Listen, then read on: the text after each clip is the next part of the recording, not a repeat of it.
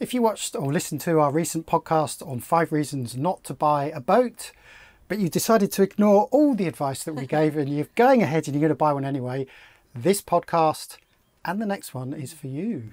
Yes, this is how to buy your first boat, part one.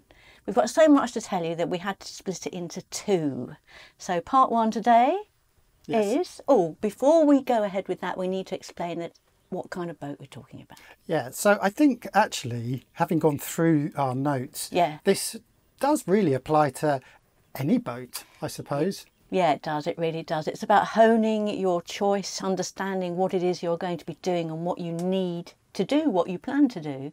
So, really, we're talking sailboats, that's for sure. And really, we're aiming at liveaboard cruising boats, but as you say, it's every boat. Yeah, I mean, we're talking about liveaboard cruisers. Obviously, Yeah. that is our own experience. We've been doing this for almost two decades now, so we feel like we know a little bit on the subject. But I do think some of the rules and ideas and themes that we're going to go through kind of applies to any any boat. So, Yeah. So, do you want to explain what a liveaboard cruiser is? well, I mean, that's an interesting one because hmm. in the in the in the UK at least, we call ourselves liveaboards. Mm. And I think in the States they say cruisers because liveaboard has a slightly different connotation, doesn't it? It sort of conjures up ideas of people on houseboats tied up in a river, never moving. Yeah, we are talking about boats that go places. So you live on it, it is your home, but you are going to be cruising. Where you cruise and how much cruising you're going to do does affect your choice of boat, we believe, quite a lot. But you're going to be living on this boat. It might only be for a year, it might be, as Jamie says, for two decades like us. However long it is, it's still all of the same rules apply, I think. I think so. Hmm. Yeah, well, we'll find out. We've got loads to get through. So I think a little caveat, by the way, these are not hard and fast rules. these are really just our, our own personal observations and ideas, which you can either apply or not apply to your own decision making process. Yeah, so you won't be thrown in jail if you don't follow our rules. Just a bit. But before we start, can I ask you what is the best boat? Hello, I'm Liz. And I'm Jamie. Welcome to Follow the Boat, in which we discuss what it's really like to give it all up to live on a boat. And go travelling around the world. We've been doing it since 2006 and we're still at it. Each week we talk about our latest YouTube video. And about boats, sailing, travel, or anything else which floats into our heads. and if you leave a comment we like, we'll give you an answer and a name check. Peace, and, fair, winds. Get that asked that question so much. People who, who have not sailed before, perhaps, and new sailors. What's the best boat for liveaboard cruising? It's like when I go to camera forums, people asking what's the best camera.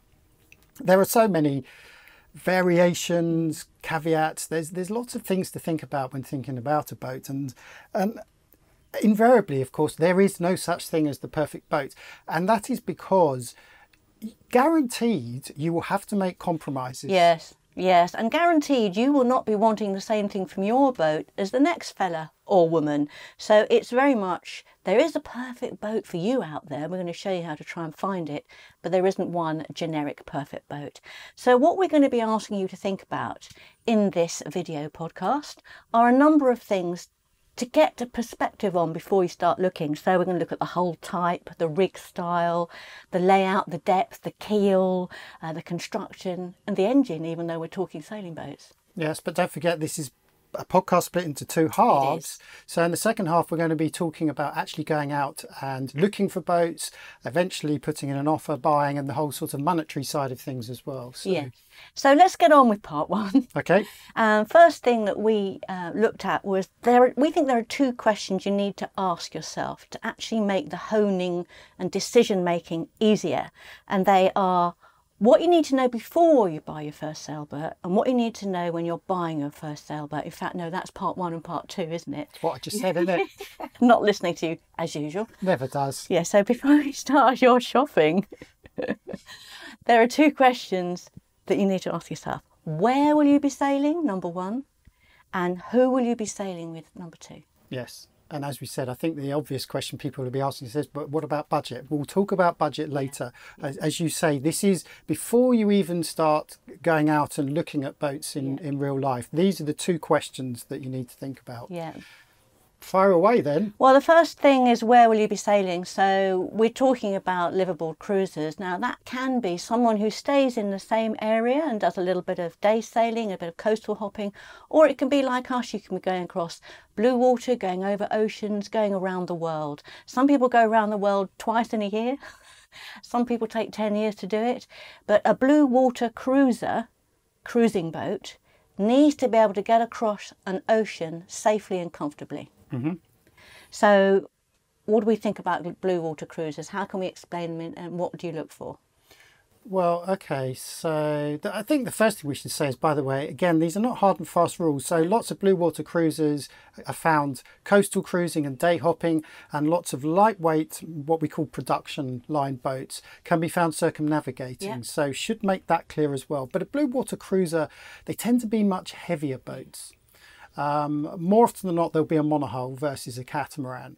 Uh, because they have a heavy displacement, it just allows them to manage heavier weather that much easier, I suppose. Yeah, they're much more comfortable in big weather, in gales and big waves. Um, that's what they're designed for. They're designed to tackle those with a reasonable modicum of comfort because those that weather is bad whatever boat you're in but they will they will comfortably go through those waves they're designed to do that and all that weight you've got below um, and all that space you've got around you to hold on to and the and the construction and everything makes it a lot easier so yeah so the weight they are generally much heavier boats Um, I think you also find in terms of handling, they're perhaps Yeah. designed more to be handled um, either by short-handed, as in one solo sailor, or a couple, and quite often from the cockpit as well. So this could mean things like um, uh, smaller sails. So, for example, on our boat we have what you call a Yankee, which is a very high cut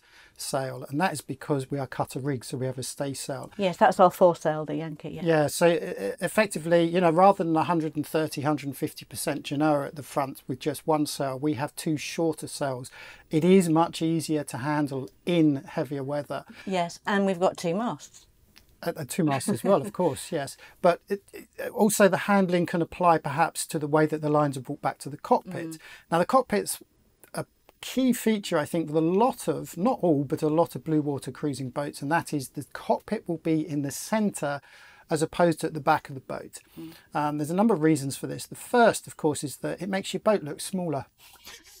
it's not so frightening as you look up the front as these huge waves are coming at you Um, it obviously it's at the centre of the boat, which is where you're going to be the most stable as well. Um, it also means that lines, both fore and aft, can be taken to the centre of the boat as opposed to running all the way to the back of the boat. And you tend to find that centre cockpits have smaller cockpits and they are much more enclosed, so they give a feeling of safety as opposed to a big wide cockpit at the back of the boat. Yes, it, that feeling of safety for me, I love. I love that side of it. Um, they're also very good. They need to be protected. Those cockpits in bad weather. We sailed in bad weather before we put this great big, uh, what do you call it, the da- the Dodger. the Dodger. Before we put our big Dodger on, we had an open cockpit, and it was like having the sea chucked in your face twenty four seven. It was pretty horrible. So if you're going to do any big, any big stuff, if you're going to be any bad weather, you really need to enclose that Dodger somehow. It doesn't have to be a hard Dodger like this. It can be canvas, but uh, any blue water sailor will tell you you need to keep dry as much as you can. Keep the boat dry. I mean, when we first bought Esper, all she had was a. In fact, she didn't even have a bimini. She No. literally had a spray hood. Yeah. And we found in the Turkish hot summers, which would hit well over 40 degrees, uh, we'd just fry. Yeah. So the first thing we put on was a bimini. But eventually we found when we started hitting the winters and also heavier weather, it just meant we were constantly soaked. Now, when you're looking for a boat, of course, it may not have these features, but don't forget, of course, you can retrofit these, but Yeah. that will impact perhaps on how much you're going to spend on the boat versus what you're going to keep aside afterwards to, to modify the boat. Mm, talk about that in the next one. But yeah, so think about all these things. It's it's very much the uh, blue water boat is very much a defensive boat. So you're working on a boat. You're, you're looking for a boat that's going to shield you and help you through the worst situations. If you're not going to be planning on being in those kind of situations, if you're not going to do any blue water sailing and you want a coastal cruising boat, whole different ball game. So, what do you mean by coastal cruising then? Well, you know, if you're going to, if, for instance, we've been here in, in um, Southeast Asia for nearly 10 years now, so we haven't done any big blue water. We've been across them seas and we've done a few overnighters and whatnot, but we haven't done any really big crossings for 10 years. So you could say, in, in some respects, that we've been coastal cruising in mm. Southeast Asia. Um, before that, we were in the Med, so a lot of boats in the Med, and they cruise around the Med. It's a fantastic cruising ground. There's great winds and there's lots of places to see there. Caribbean, obviously a lot of people go from the US to the Caribbean. There's the bit we've got to get there, but you can shorten that and with the good weather prediction these days there's no reason why you need to be going through any, any bad weather to get there. So i would call that coastal cruising. Yes. I, I, I mean i would define coastal cruising as day hopping. Okay so you're not you're saying no overnighters at all well, I mean, obviously, overnighters are invariable. They are going to happen when you have to jump between islands, for example. Yeah. But I think, on the whole, you're not looking at crossing the Atlantic or the Pacific yeah. or the Indian Ocean. You are going to base yourselves locally. You may even have a base, like a, you may be based in a marina. Yeah, and that is that. definitely going to impact uh, on on the boat and all the features it has on the boat. But yeah, looking at um, what we, we're going to call them production line boats. Just th- these are lighter displacement boats. Have you got any examples so that people know what you're talking Beneteaus, about? Right. Bavarias. Odysseys, Jeanneaus, that kind of thing. Okay. Um, and you'll find that they are quite different boats quite often a new buyer when they're looking at the same length boat and they're comparing a blue water cruiser with a lighter production boat i think the most obvious thing is the feeling of space that you get from a production line boat. Yeah i mean they are fantastic. They usually don't have center cockpits. They're usually at the back and they're usually huge. So they're really good for entertaining. Um, massive space out there, very different to ours here. We can seat four people for lunch, maybe. If we feel like it. Yeah, but on those you can get these great big tables and, and fabulous parties to be had. Mm. And not just the cockpit, of course. Down below you'll find, I'm going to give a quick example of. We looked at a Feeling 1350, which I think was a Ron Holland design. It was. It, it, it's classified as a racer cruiser. Um, we took it out for test sail and we were hitting 10 knots easily and we were overtaking all the other boats uh, that day, weren't we? Um, and the first, my my main memory of this boat is going down below and walking into the saloon. How cavernous it was! It was enormous, and as a newbie, uh, you you kind of think, well, this is amazing, isn't it? Look at all this space. I loved it. I thought, wow, it's like being in an apartment. Mm. Great big sofas, a nice open plan galley. They had their cabin at the front and two cabins at the back, both double, so they could sleep six people easily. It was 46 foot, I think. 13, 50s, yeah, it's about 46 yeah, foot. Yeah, a little couple of feet longer than Esper. Something like that. But felt so much bigger than yes. Esper. Yes. But of course, um, the, the trade off with that is that one way in which they make these boats feel more spacious is that they minimize on the storage. So you'll find on uh, blue water cruisers, or certainly a boat like Esper, you've got quite deep cabinets either side.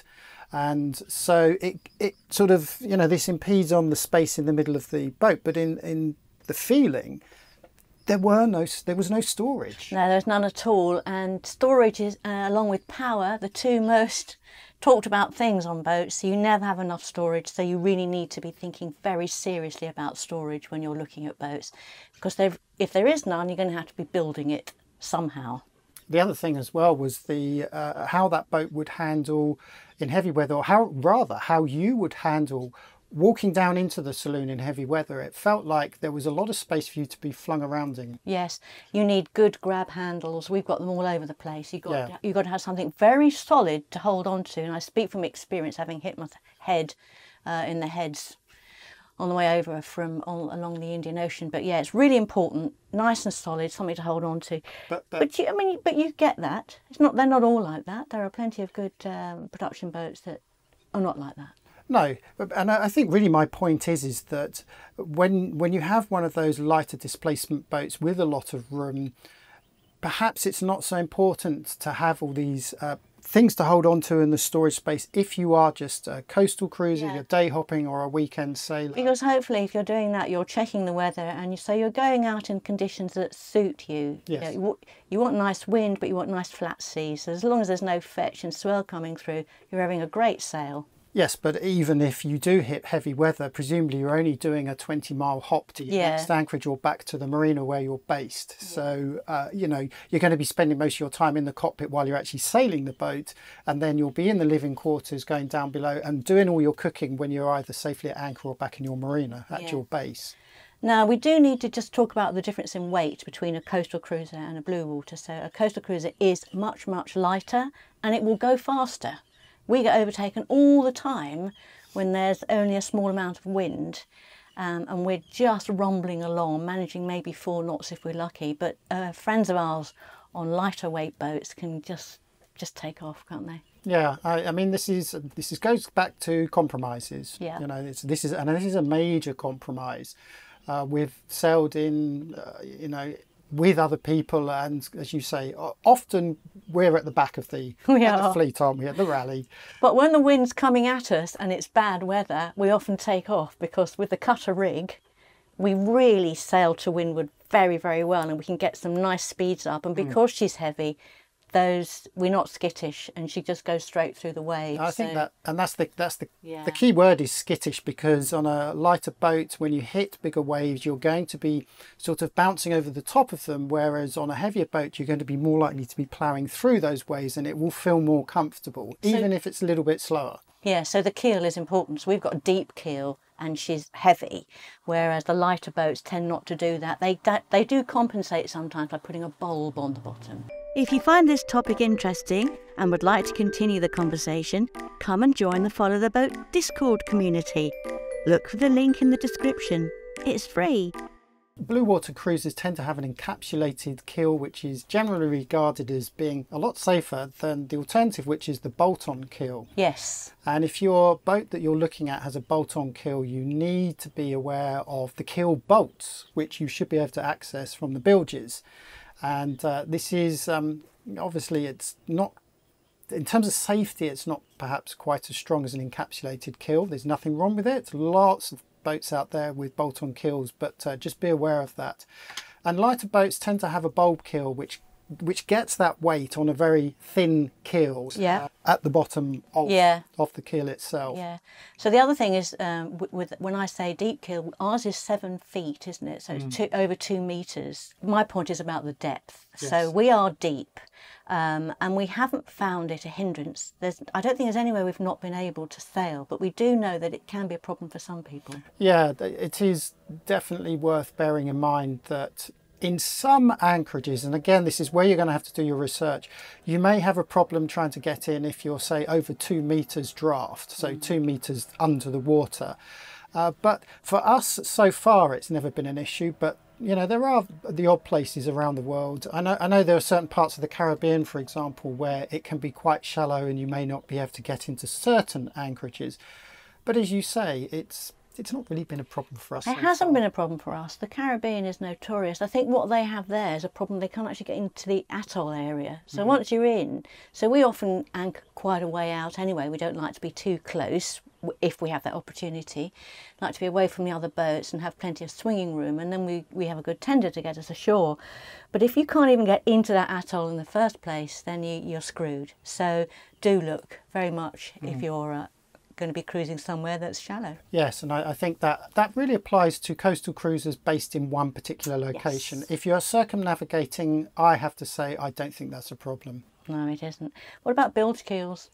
Because Yes. um, So we have a friend who's got a 60 foot steel bilge keeler, and uh, he bought it specifically for surfing and getting to difficult to get to surf spots, so effectively behind the wave, where he can anchor and jump off his boat on his board. And the advantage of the bilge keeler is that he doesn't have to go into marinas. He can beach his his boat at mid tide uh, wait for the tide to drop, and then he's got a good six hours or so to inspect under the hull. Yeah. Uh, he could even anti-foul as well if he really wanted to. it's a great boat for getting in and behind everything where we wouldn't even consider going. Um, and that's what he needs for his surfing, which is his that's his greatest love. Yeah, but you, I mean, they're very popular on the uh, UK coast actually because where you have deep tides, quite often you'll at, at low water you will see a lot of boats that are just sitting quite happily in the mud, and then quite often, most often, will be a bilge keeler. There are disadvantages, of course, uh, in terms of its performance. Uh, pointing to wind, I don't think is is as good, uh, but that's something you, you'd have to decide on. You know what's more important, and perhaps you are based somewhere where you're not going to be in a marina, but you could be uh, leaving it to dry when the water drops. Yeah, um, it's not the kind of boat I'd want to cross an ocean on. I What do you think? I couldn't comment on that. Don't, Uh, no, don't you think they're too shallow? I don't. Yeah, I know. I don't know. I don't- anyway, not quite sure about that one. Bilge keels is not something we've got much that's experience that's the of. problem. That's we the problem. we don't have that much experience of them, and I think on the whole they're not as common as your standard fin keel boats Mm. or your bulb keel boats anyway.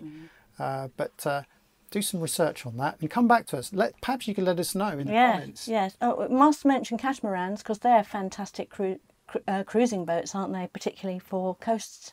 I'd, you know, if you've got the money, catamarans might be a good choice.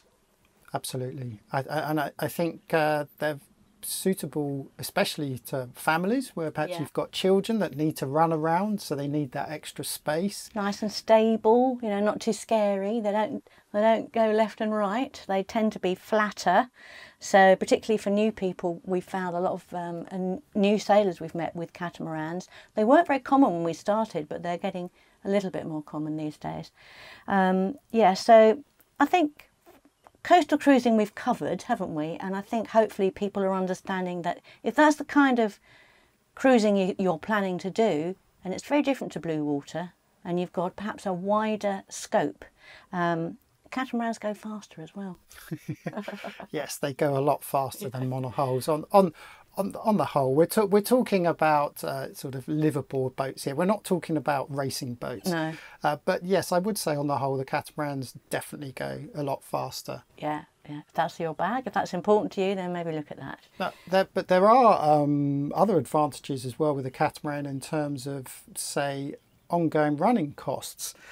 This sounds counterintuitive, but a catamaran has a very simple rig one mast and three, four cables. Now, if you compare that to an over rigged, what Like Esper. an over rigged boat, a blue water cruiser, which has a lot more cabling. Um, that's obviously one area where catamaran is going to be cheaper in terms of its running costs.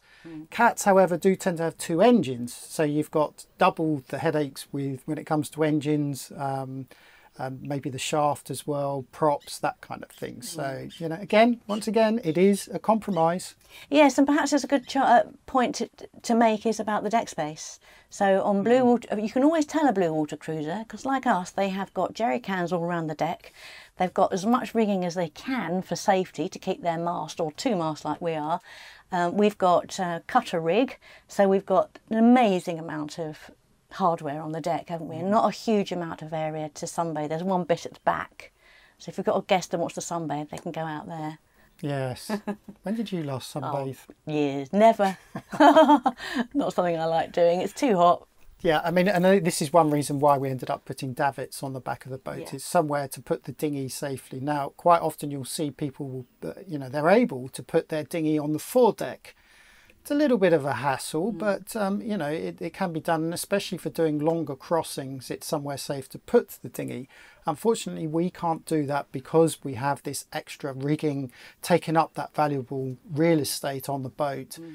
So that's why we have the davits at the back of the hmm. boat. So if you're coastal cruising, you don't need all that stuff on the boat, and you will have a cleaner looking boat and perhaps a bit more room for all your friends and family to sit around and sunbathe and read books and do whatever it is they want to do. anything else? I can't think of anything else on uh, coastal cruising. If you can, comparing coastal with blue water, put a comment. Very interested to hear what you've got to say on it. Um, then you need to think also about when we're talking about where you're going to sail. Are you going to be majority of the time marina based, or are you going to be anchoring? Because that's going to affect things as well, isn't it? Yeah, I think that the biggest impact that's going to have is on your fuel consumption and storage. and also your power as well. So if you're based in a marina, you will probably never need jerry cans because the amount of fuel you carry, I mean, let's face it, we can we can do a fair few hundred miles just on what we carry uh, internally on the boat. The jerry cans are for doing the longer passages when we have the motor. Whereas if you're based in a marina and you're only going out for the day, you won't need to have those extra jerry cans. Yeah, you need them round here in Indonesia because there are, there are very few places where you can actually tie up. There's hardly any marinas here. So you, if you come to Indonesia, be prepared to be anchored pretty much all of the time. Mm. So finding that um, diesel or petrol, whatever it is, uh, it's possible and it's easy to do, but you've got to be lugging it backwards and forwards, so you need to be carrying as much as you can on the boat, which is why we have jerry cans all around the boat. And then the other thing is, uh, as you say, is power. Mm. You're not tied on, you're not plugged in, so you need to be making your power. Yeah, that's that's the other thing. Obviously, we have uh, a lot of solar panels because we spend pretty much all our time, 99% of our time, at anchor. So we're making our own power. If you are based in a marina, again, this may not be an issue. Perhaps you're only going out for the weekend. You have enough battery capacity to see you through with maybe one small solar panel just to keep things ticking over when you start being more remote, you have to think about these extra systems like uh, a much better battery management system and uh, what else? Well, just ways of more, making. Yeah, more efficiency and um, yes, how you how you actually make the power. Yes, I mean, some people have wind generators. It's not something we have. We've looked at it in the past, but as many solar panels and the most efficient solar panels as you can, you can put those on. This is if you're going to be anchoring particularly remote or for long times. And the other thing you've got to think about is water. Mm-hmm. If you're in a marina or you're tied on somewhere for most of the time and you're perhaps going out and you're sailing two or three weeks at a time, you probably don't need a water maker. If you've got a decent sized tank of water, you don't need a water maker. But we couldn't exist without one. We got one in the Med and we haven't looked back. Funnily enough, I was having a conversation with someone recently about water makers. They're, they're actually currently in the process of kitting out their boat. And someone had told them in Indonesia, it's easy to get the 20 litre plastic water bottles, take them to your boat and fill up your tanks. You do that anywhere in the world. Which is true, but you've got to lug those jerry cans to the boat and decant them. And if you are doing that every few weeks, it's bad enough just doing fuel, but to do water as well. So that is another consideration. Um, to give you a rough idea, we carry 650 litres of water on the boat. And if we weren't making water, that would probably last us approximately three to five weeks, depending on days. How, I was going to say no, depending on how frugal we are and how much we shower, of course, as well. So yes, a water maker could be something that, if you're lucky, you may find on the boat you're looking at. Did you know that liking and subscribing on YouTube or wherever you get your podcasts helps us to get noticed? Go on, give us a helping hand. Final word on where you're going to be sailing is the weather. Uh, sounds obvious, but you do need to know about the weather in the area that you've got up your sleeve. Is it going to be hot? Is it going to be tropical? Is it going to be cold? Are you going to be in the Arctic? All of those things are going to affect the type of boat you get. Yeah, now this brings us nicely into wooden decks. Yes. We all love wooden decks. They look great, don't they? And You'll find a lot of wooden deck boats were probably manufactured in the Northern Hemisphere, Scandinavia, uh, Western Europe, uh, because it acts as great insulation. However, when you move to the tropics, where the average air temperature is between 25 and 30 degrees, you will find those wooden decks insufferable. So you might want to think about that, uh, your longer term plans, where you're going to spend a lot of your time. Just be aware that uh, that could impact that. But of course, if you're based in the Northern Hemisphere and you're going to be spending quite a bit of your time uh, during cold winter months, then perhaps the wooden deck, the teak decks are going to be useful. Yeah, as a, as a matter of interest, we bought Esper with a wooden deck, and when we got here, we took the deck off. It was going to be replaced or, or removed, and we removed it, and we immediately got cooler below. And we saw other boats, I mean, big oysters, really smart looking boats that had done the same. They'd taken their wooden decks off. So if you know you're going to be in hot places only, then uh, do consider the deck. It's quite an important um, aspect of buying a boat. Then the other thing about weather, um, if it's going to be hot, do you need AC? And if it's going to be cold, you will need heating. So that's something to consider as well. Okay, I'll answer. I'll answer that because I would say if you're going to be hot, no, you don't need AC. Yeah. Uh, if you're going to be spending most of your time at anchor, because the boat, when at anchor, tends to point into the wind, so you will almost always have a through breeze coming through the boat. The second thing is is that if you're from a colder climate, you will eventually acclimatise to the tropical weather. You'll continue to be a sweaty bastard like me, but you you do get used to it. And we've never felt a need for AC while we're at anchor on the boat. It's a different story if you're in a marina, especially if you're hauled out and you don't have the insulation of the water. It can get very hot on the boat. Uh, but for AC, I would say that's less of a, an issue.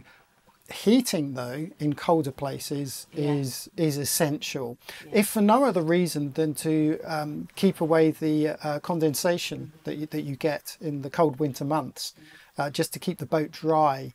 You might even be wanting to look at a dehumidifier, but you know you can buy those units separately. So We used that. We used one in Turkey, didn't we, in win- in the winter? I think when you're looking for a boat, a de- an installed dehumidifier isn't something that you tend to think about. But an Eberspacher or a Webasto type heating system might be uh, something that you do need to consider if you're going to be up north or deeply south, anywhere cold. There's nothing worse than being on a boat and being cold. You really mm. need to be warm. So think about the temperature. If it just want to Yeah. say, if you are looking at a boat to take to colder climates, the other thing you need to be aware of is insulating the boat. So it is worth looking at the boat to see if it has already been insulated. Mm, so just bear that in mind.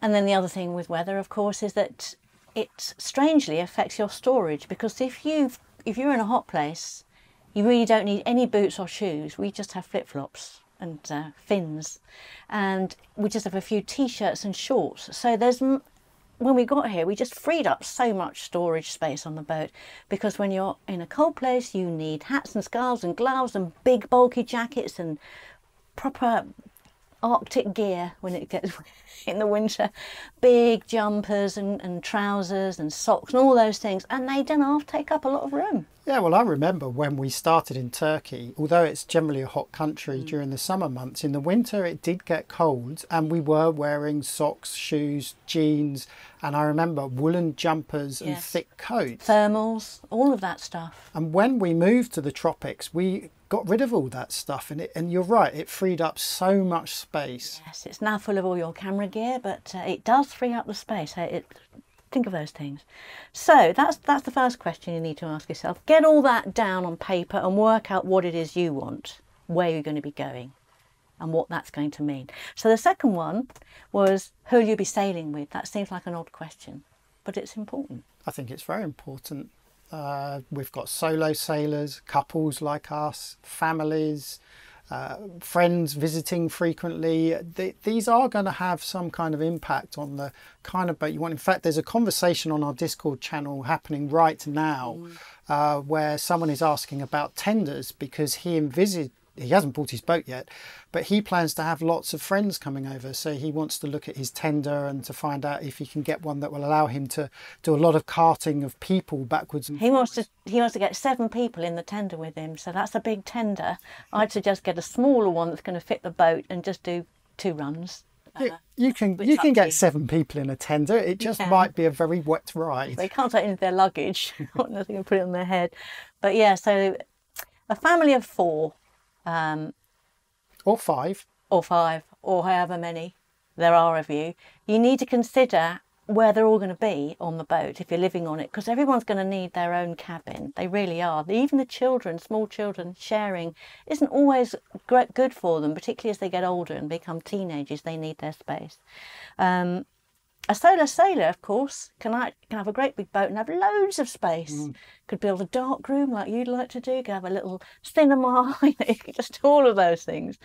Um, yeah, decent spare cabin. When we first bought Esper, we had a double cabin at the front. Our main one is at the stern, and then we had two uh, bunks as well. And we had lots of people coming to stay with us because we were in the Mediterranean, and home for us is England. So people were able to come over and visit quite regularly, and we used those quite a lot. As we've got further afield, fewer guests. Also more crap on the boat. So those areas have become storage now. I was going to say just fewer friends generally. All of my friends grew up and had children, so they stopped coming to visit, and we're that much further away now. So, and, and this is an important consideration, perhaps your longer term plans where you eventually end up taking the boat. How important is it going to be to have all this this extra cabin space for visiting friends? It may not be so relevant, We realised it was a luxury, didn't we? but I think your point about not just children, but everyone having their own personal mm. space is really important, but especially for children. They do need to have their own space, even if it is just a bunk. It's mm. just somewhere that they can escape from the rest of the family, as we all like to do t- from time to time, somewhere to put up their little posters and pictures and store all their personal effects. Yes. And if you have a paid member of crew, you can't be expecting them to be sleeping in the saloon and changing their bed linen every night and putting everything away, can you? Yeah, if they're crew, that's crew will sleep anywhere. I suppose so. Uh, but uh, if they're paid crew, I don't know, they would expect a modicum of comfort. I would have thought so. But I think most crew, and by crew, let's define these as people that aren't family or friends, but are literally just helping you sail your boat. They'll sleep anywhere. Um, but- Okay. but, that's still an important consideration. If you're going to be doing that regularly and your saloon um, bench doubles up as a, as a place for your crew to stay, um, do you want to be dealing with making and unmaking that bed every day? Um, Certainly, as a permanent member of crew, i.e., family, or the permanent member of crew, I wouldn't want to be doing that. Could not do that. Uh, you need to talk to your family about whether they're prepared to do that. If you don't think there's going to be enough room, but better ensure when you buy the boat that there is enough room for everybody to sleep and have a space of their own. We do. We've got space of our own on Esper. Uh, I have a little area at the front of the boat on the port side that's my boffice where I boss Jamie around and do all my work. And Jamie uses the, the navigation sta- uh, station as his area, has all his crap over there and does his stuff. And we're actually physically apart quite a we can't actually s- even see each other. It's great. she can't even hear me. She's half deaf. Yeah. But uh, not being able to see Liz is uh, for a few hours is it, it's you know can't put- can't put a price on that. Yeah, we're joking, but we're, it's true. There's Yeah. a modicum of truth. You do need to be able to get away from each other. So think very carefully about the layout and the space in terms of who you're going to have on the boat with you. Um, entertainers, you'll want a big cockpit, won't you? Yeah, I think that's true, and this goes back to the coastal Yeah. lightweight boats versus blue water cruisers. If you are going to spend most of your time with family and friends visiting, then perhaps you want to put more emphasis on the cockpit. Yeah. as you as you said earlier, you know, we can literally seat four people in our cockpit. It's Yeah. not the cockpit for entertaining lots of people. It can be done, and we have done it. But if you want some kind of comfort, then you know, a large aft cockpit is perhaps more important to you than an aft cabin, for example. Yeah. Because that's the compromise with having a big, large aft cockpit, is not having a large aft cabin, Yes. which was pretty high up on our list of, of things. Yeah, we haven't actually talked about that, have we? About where the cabin should be. But uh, it, it is something you do need to think very seriously about. We'll come on to that. Yeah, we are assuming it's going to be hot, and if, if it's cold, you're going to need a lot of space below. So when we first got the boat uh, in the winters in Turkey, we um, we had the we have a table that we don't really use now, but we had a big table that folded out. We could seat eight people down below. Oh, easily, yeah. So she was designed not for e- for cockpit entertaining because she's a northern hemisphere boat. She was bo- designed to be entertaining below. A lot of Oysters are like that. They have beautiful areas down below, great big areas for entertaining, don't they?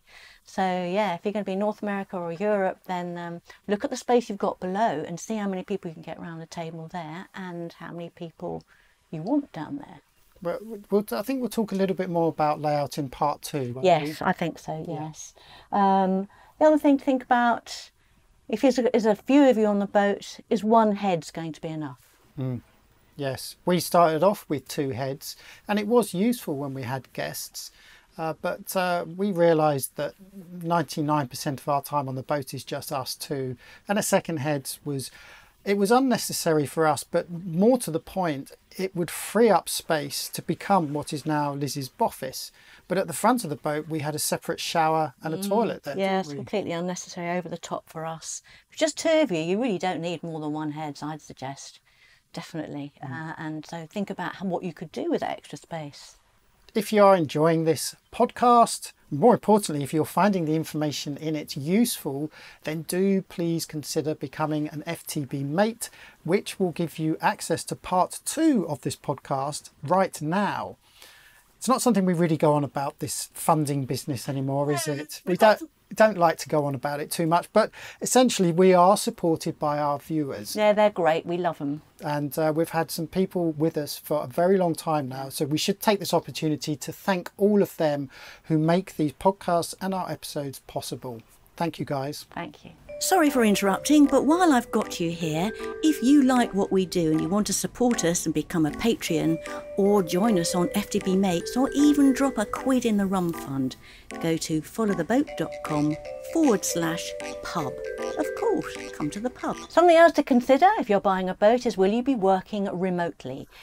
In the last few years, this has really mushroomed this idea that you don't need to work in an office, you can work from home. And if you can work from home, that means you can work from anywhere in the world. So lots of people are backpacking and working remotely. Also, they are living on boats and working remotely. Something you need to consider. Yeah, I mean, the internet connection, we've seen internet connection go from nothing. Think of Turkey. We had no internet connection when we were on the coast, coastal cruising and anchoring places. Now it's everywhere. I mean, Indonesia, eh, pretty much everywhere we've been in Indonesia has internet connection. And this does provide a great opportunity for you to work from home. But you need your own space to do that. Now, it could just be the chart table where you flip up your laptop. Um, but I think you like to think that it should be more permanent, a dedicated space. I really do. I think if you're, you know, if you're a working full-time person on a boat, you need somewhere that is comfortable, that is your space, and it's not going to be interfered with. It's not used as something else. So I would suggest that you try and find something that that works for you that way. For instance, my office area, I have to pack everything away when we want to put the water maker on because that's underneath the bench. So everything has to be taken out, put away, packed away, da da da da da, and then I have to bring it all out again to work in there. But if you're working full time, you're getting paid to work full time on your boat, then find somewhere, a nook, a cranny that is yours and remains yours and is permanently available to you. You can do this, by the way, as a blue water cruiser or a coastal cruiser. Obviously, while you're blue water cruising, if you're going across an ocean, no work, that's going to be your holiday. That's when you're going to do two or three weeks when you're non not contactable. For the rest of the time, you could do this anywhere. Yeah, I'm just thinking one of uh, the users on our Discord channel, by the way, uh, he is a video editor and he owns a catamaran. He has his entire editing suite set up in his catamaran with multiple monitors. And uh, obviously, catamaran having that much more room for that kind of thing. Uh, but it's it's a semi-permanent setup. But he is working from home, which is his catamaran. More and more people are doing it these days. So Yeah. think about it. Think about the boat and how it's going to work for you if that's your plan. The next thing on other factors is construction. Hmm. Oh, yes. Massive, massive thing to think about. The construction of your dream boat. Yes. Now, by construction, we're, we're talking about material that the uh, hull is made from. Yeah. Yeah. So uh, obviously we have GRP, which is uh, glass fiber, fiberglass, and uh, you'll find most most boats are made of fiberglass these days. And it's easy to work with, it's easy to repair. You can pretty much do repairs anywhere in the world on a GRP boat. And of course, the trade off though is that, you know, if you hit a reef or a rock, uh, the reef or rock is going to come up better off on, on that accident and you're likely to put a hole in your boat. So that's obviously the downside of, of GRP boats. And environmentally, you're actually in a great big piece of plastic. Yes. Well, that's not good, is it? Maybe you shouldn't buy a new one. Just keep using, you know, recycling the old ones. Have to think about that. Yeah, that's that's a good point. Um, of course, you may have heard of osmosis. Uh, this is the plague that affects GRP boats when you get little osmotic bubbles in the hull. Water ingress gets in behind the gel coat. Um, this is more of a cosmetic issue, to be honest, than anything. Um, it, it- you know, it's treatable. You can deal with it, and uh, there's a lot of boats out there sailing with osmosis that uh, don't you know, they don't sink. No, they don't. It's not the bogey word that it used to be. Oh, osmosis, don't touch it. Not true at all. Um, it's easily dealt with. Perhaps the second most popular choice for boats in terms of construction would be steel. Nice and strong, of course. And the advantage is, again, you can work on steel from anywhere. Uh, well, and rather, most boat yards will accommodate you if you are a steel boat, and you'll you'll find the labour if you're not doing it yourselves pretty much around the world.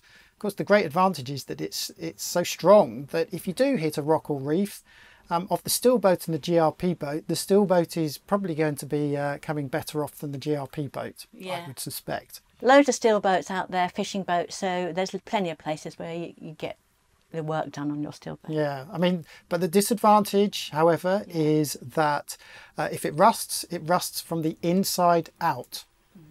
Now, this means that all of your cabinet cabinet work is has to be removable, mm. and you need to be inspecting it regularly. So there are some downsides to it. Of course, there's also good steel and there's bad steel. So you need to find out where the boat was manufactured and what kind of steel was used. Mm. And also, if it's had any mending, what steel was used. It may have been made somewhere where the steel was excellent, but it may have had some patches that are not so good. Yeah, good good point. Yeah. Yeah. Aluminium? Yeah, I mean, aluminium has all the advantages of GRP and steel. It's light and it's strong. Um, its main issue, of course, is electrolysis, which are runaway currents that can happen either on the boat or, more worryingly, in the water in a marina where Yeah. perhaps you've got a, a a leaking electrical cable in the water.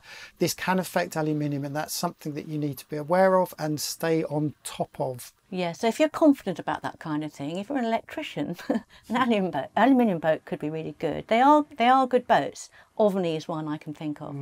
Yeah, very good boats. I mean, other other materials would include ferro cement, which was really the preserve of uh, those who made their own boats in their back gardens. That was a bit mean, but yes, it used to be. They're, they're nice and strong, um, but you know they, they, they, they can sink when they hit things. So And carbon fibre. yeah, I think that's the preserve of racing boats. Yeah. I mean, there are. uh, It's definitely. It's all about going fast in a carbon fibre boat, isn't it? But um, there are. They are around. If you've got lots of money. Uh, Wood, bamboo. Those.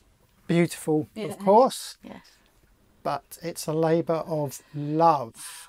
You've got to be on top of the woodwork all the time. The great thing is, of course, is that wooden boats cover most of the globe. All the boats that uh, are passing us now at this anchorage, they're all wood. So you're not going to be short of places to to get repairs done, to find the skills to help you make those repairs. But there will be loads of maintenance to do, and it's the thing that puts me off. I mean, what, what's great is that when you turn up in your beautiful wooden boat and you drop the hook, everybody's looking at your boat. You are going to be the most beautiful boat in the anchorage most of the time. Imagine a J class wooden boat turning up. Oh my God. I mean, they are stunning. So, we all know maintenance is quite a big part of boat ownership anyway, but double it, treble it if you've got a wooden boat. You've, got to, you've got to be a carpenter, you've got to love it. Yeah.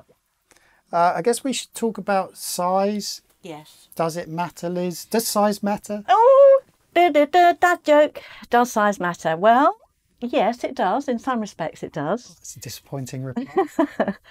In fact, the reply is you probably don't need to go as big as you think.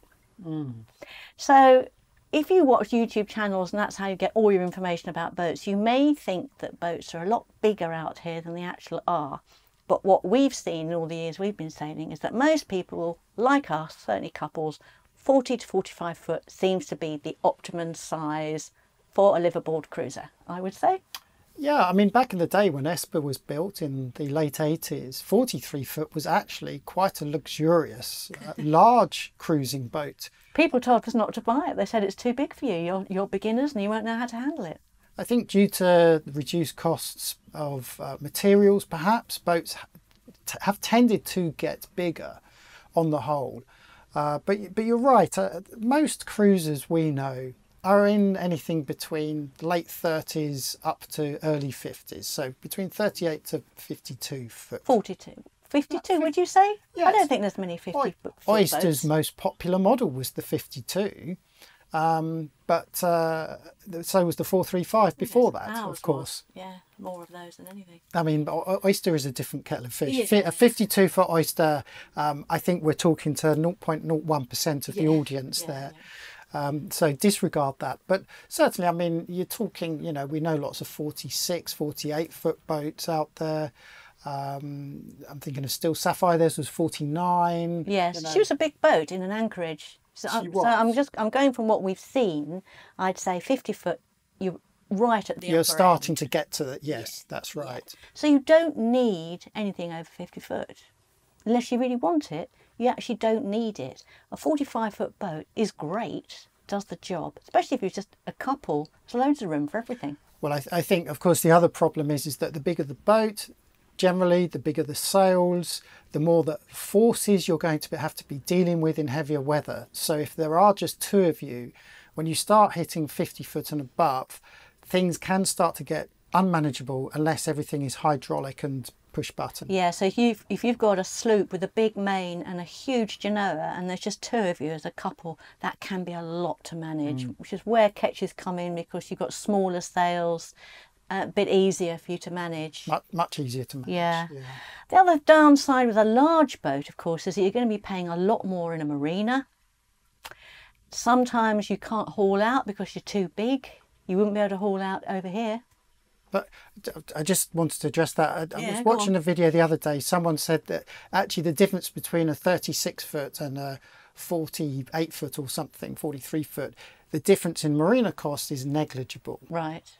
I don't know how true that is though. well, it is per foot, so it depends on your budget. I Well, that, this is it. I mean, it's relative, isn't it? Uh, you, one assumes perhaps your budget is tighter if you're on a 36 foot boat versus someone that's on a 43 foot boat. So, depending on your viewpoint, it may be negligible to you, but the difference to the person owning that 36 foot, foot boat could be quite significant. It can, and some places they sort of don't do it by the foot. They put them in groups. So if you're below forty foot, you're in the lower. That's you're, true. you're in the lower group.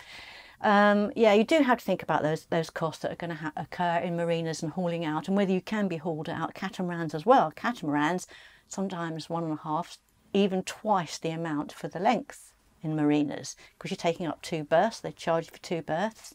You can't haul out in Indonesia in boats that are too big and too heavy. Anywhere. Yes, uh, that, that is something to be aware of. Uh, I was having a conversation with someone that wants to buy a trimaran, and they were asking the question, well, wh- where can I take it in the world, or where can't I go? And it I can't really answer that question. You need to go away and look at where you think you're going to be based. Uh, if you perhaps have to do emergency repairs and need to haul out at the only boat yard that happens to be two miles up a mangrove uh, swamp, perhaps you can't get your trimaran up there because it's too wide. There's plenty of places we've been where you would not be able to get a big trimaran. Hmm. There is a small trimaran that we know of, and they managed to haul out, but I can't remember the size. It's a small boat. Yeah, but I, I think in terms of this increase in cost as you go up in length, it's definitely relevant when it comes to o- on-board things like rigging, sails, electrics, um, plumbing. Those kind of things get exponentially more expensive to service and replace. Yeah. Uh, so that is something to bear in mind. Yeah. You may be able to afford to buy yourself a 52 foot boat, but do you have the budget To run it. to run it? Yeah. Yeah. Okay. So that's that size. It's a personal choice. Just saying from our experience, don't go as big as you think you need to. Th- That's your advice. That's my advice. My advice is get the biggest boat possible. You could get a great big flappy useless boat or a smaller, really smart, Fast. delicious Performer, boat. Yes. So before we finish on part one, we've gone on for long enough. You can see why we've had to do part one and part two. A word on experience. Now we're hmm. assuming if you're watching this that you are new, not necessarily to sailing, but certainly to cruising and living on a boat. You need to think very hard about that. If you're new to sailing, you've got some advice, haven't you? Have I got some advice? yes. If Oh. you're new to sailing, uh, oh, right. You, you mean get experience? yes. Yeah, that's the most important thing, I think, is uh, do you even you might find that you love this idea when you watch the YouTube channels and you love it on paper, but you step on board a boat and find you start throwing up as soon as the boat just does this. So uh, just go out and get some experience, uh, which will also expose you to different boat layouts as well. It's hugely important. You need to go and look at boats. We'll talk a lot about that in the next one.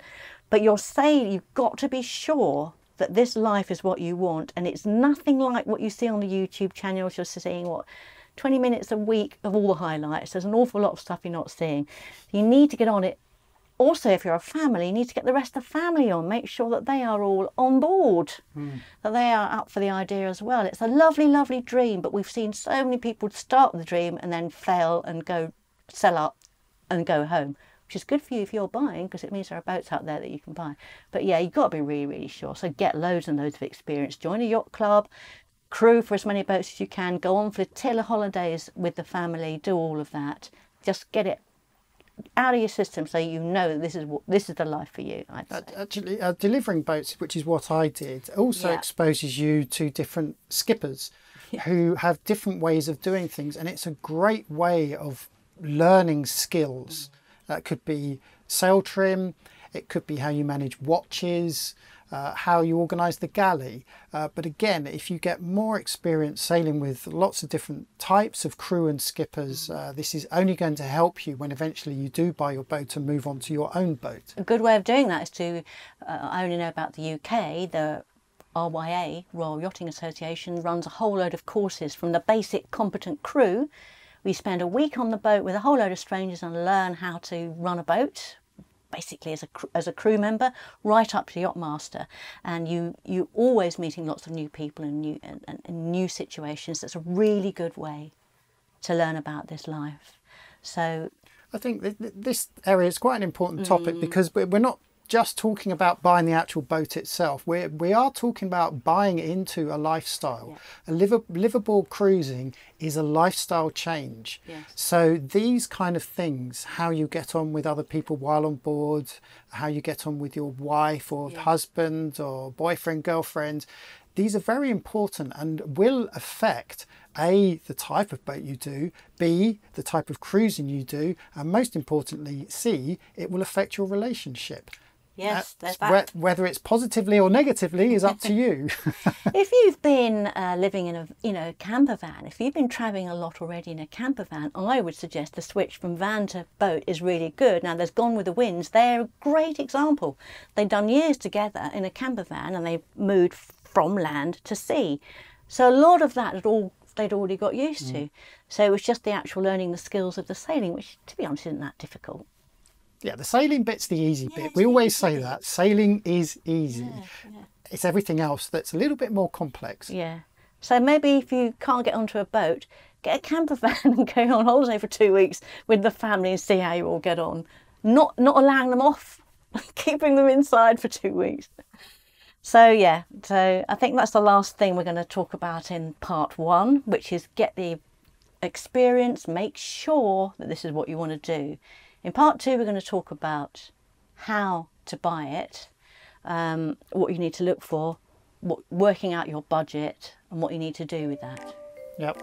Okay. So if you are an FTB mate, you can jump straight in and watch the next episode right now. If you're not, then don't forget please join us on FTB Mates and you get to see this. Otherwise, you've got to wait two weeks. Yeah. But we are going to now record the second bit right now. Peace and fair winds for now. See you in part two.